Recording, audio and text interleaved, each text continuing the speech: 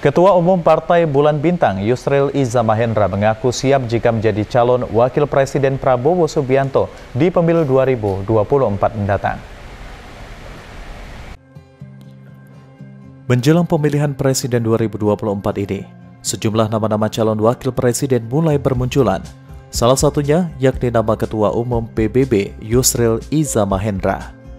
Dirinya menyatakan kesiapannya jika diminta menjadi calon wakil presiden Prabowo Subianto di tahun 2024 mendatang.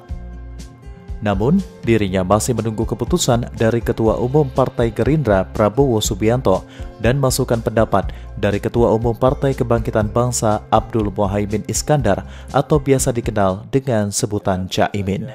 Tahun 99 saya kan sudah maju sebagai presiden pada waktu itu. Kalau saya tidak mundur, saya harus uh, disahkan secara aklamasi. Saya presiden pada waktu itu. Ya. Karena calon yang memenuhi syarat itu cuma saya.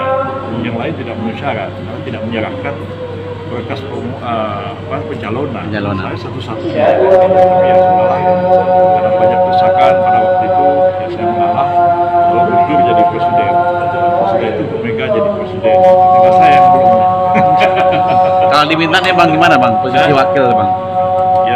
saya siap aja siap tapi ya apa namanya kita serahkanlah kepada Pak Prabowo sebagai kita dengar juga pendapat dari Caimin ya. Sandi, Jek TV melaporkan.